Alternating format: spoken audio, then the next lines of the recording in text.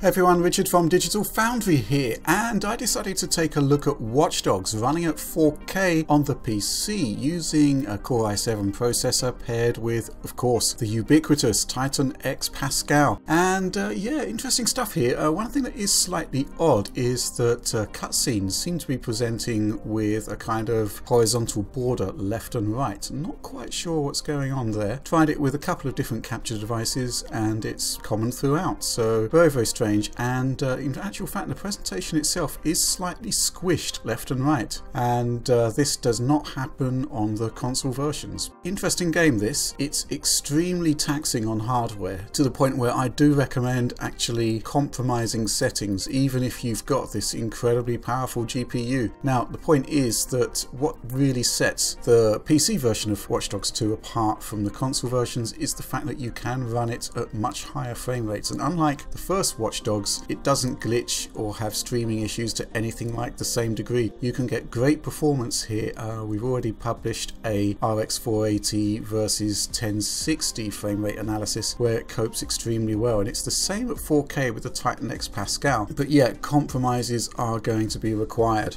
So this is the beginning portion of the game where we start off in the Marion area and the idea here is essentially to take a trip to San Francisco and well get some clothes. So we're going to jump into this car and get going. Now there is fast travel available but I think the point is that we'd rather skip straight ahead to the San Francisco area to see just how good a job they've done here and overall I think it's a really excellent representation and 4K it really looks spectacular. But what if I told you that the PC version here wasn't actually rendering at a native 3840 by 2160. And yeah, it's actually a technique that Ubisoft first deployed in Rainbow Six Siege and it kind of predates the checkerboarding techniques seen on PlayStation 4 Pro. But first of all, I wanted to show you some dual system control, dual wield capture of the PC version of Watch Dogs 2 versus PlayStation 4 Pro. Now the PS4 version is running at checkerboard 1800p versus, well, I guess it would be a kind of checkerboard 2160p on the PC version. And to be honest, both of them are resolving an excellent degree of clarity here. Obviously the PC version is crisper, it's got quite a lot more native resolution in there. But generally speaking, as we're looking at the two versions here, very, very similar. The frame rate really is the major differentiating factor. And of course, shadow quality is much, much better. But, you know, in terms of geometry, in terms of texture quality, well, they're pretty much like for like. And in actual fact, as we look at this scene here where our main character is waking up, yeah, weirdly, there seem to be some shadows missing on the PC version. I've actually run this several times and the same thing happens each time. Very, very strange indeed. And uh, there's a couple of minor anomalies which we'll kind of pick up on where the PC version isn't quite up to scratch. Now here, I'm actually running on ultra settings with everything maxed and there's a kind of extra detail setting which is extremely taxing on your system's setup here. I've got this set to 50%. Now what that actually does is, well, think about it this way. As objects move further away from the camera, there's no need to display so many triangles. You can use a smaller amount of triangles and you can't really tell the difference. So what the extra detail setting does is actually forego that. You actually get much more detail on objects that you can't really see. So it's kind of like an overkill setting. Even on ultra, it's set to zero. That gives you some idea of what they're doing here. But yeah, as we get into the car here, you can see that, well, yeah, I mean, much, much better shadows. There's also extended draw distance on the PC version. And in this shot, you can see on the ground here that uh, the PC version has screen space reflections and these seem to be completely disabled on the console version.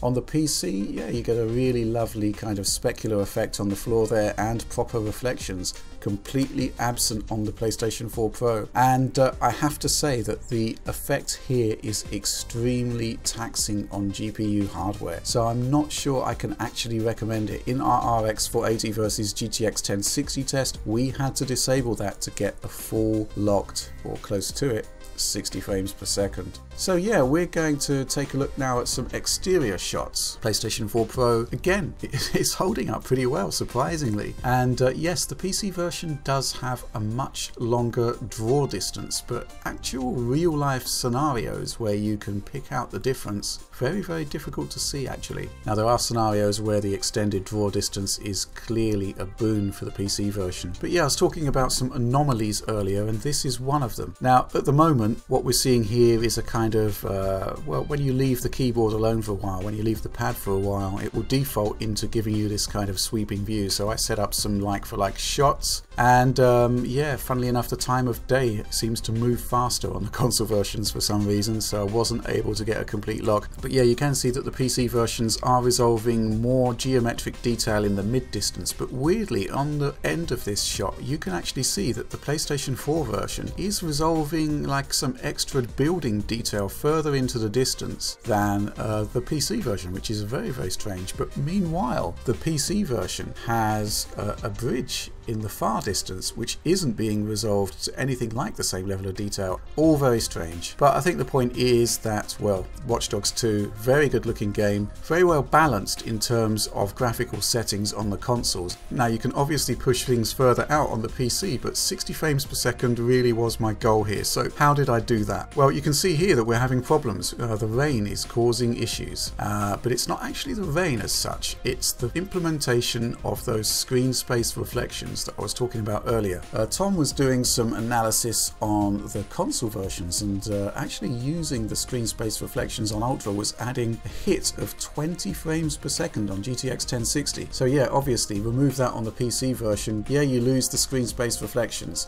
but what you gain is a huge boost to performance, 60 frames per second, pretty much locked here. There will be some instances later on where you'll see some frame rate dips, but we'll talk about that later. But, you know, temporal resolution for me is much more important than physical resolution but obviously with the Titan X Pascal we can do a bit of both and the overall balance just looks spectacular. So yeah this is now much further on in the game. I actually picked up where Tom left off on his GTX 1060 RX 480 analysis. Played through a few more missions here and I wanted to kind of stress test these settings that I've got and well, here we're moving into foliage heavy scenes, and this generally does cause issues for GPUs. It's much more of a hit to memory bandwidth for starters. Titan X Pascal, it is holding up quite nicely here, but as we kind of move at speed through the environments, there is issues in kind of slight stutter creeping in. Saw a similar thing, but it was much, much worse on the original Watch Dogs. But I think the point is that I went into the PC version looking for a clear visual upgrade over console. Obviously it looks better. Now I tend to do most of my gaming in a desktop environment where the screen is right in front of me and uh, I also favour using 40 43 inch Ultra HD screen for desktop gaming. It really is quite epic and in this case 4K really is a huge payoff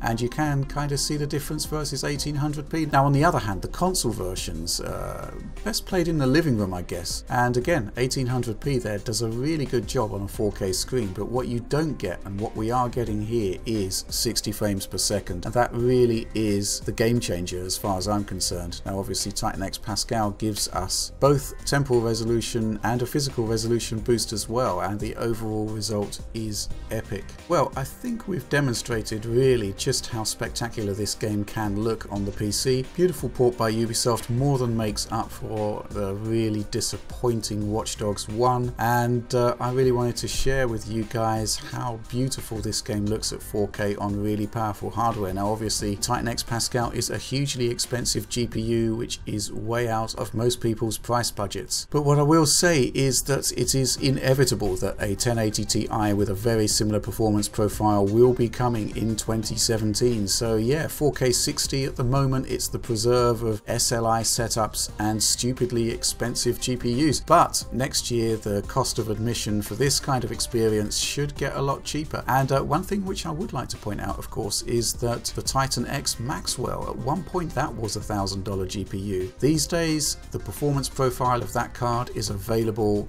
for about $400 uh, in the form of GTX 1070. So if you can be patient, it won't be that long before this level of exceptional performance is more affordable. Okay, so this is my final video in production for 2016. Uh, I'm going to be heading off on holiday shortly. Tom, Dave, John, they've already gone. Apologies to PC users if they felt a little neglected since our focus has been on PlayStation 4 Pro since its launch. Uh, all I'll say there is that, well, we are a very small team of just four people and uh, producing in-depth analysis, 4K videos, that kind of thing it's really taken a toll and we really need a break. So thank you very much for your understanding. Thank you very much for your support. And remember that if you want to see this video the way it was meant to be seen before YouTube introduces all of those horrible compression artifacts, I highly recommend supporting Digital Foundry $5 per month via Patreon. And for that, you'll get full unlimited download access to everything that we do. And in the case of these 4K videos, watch them on a 4K And you're in for something really special. But that's all I've got for you for now. Thanks once again for supporting Digital Foundry throughout 2016. Big plans ahead for 2017 but for the time being, well, I'm going to be taking a break. We're going to be running a range of content that we've already banked, so there'll still be plenty to look forward to across the holidays. But for now, I'm going to leave it there and go home. So, thanks for watching.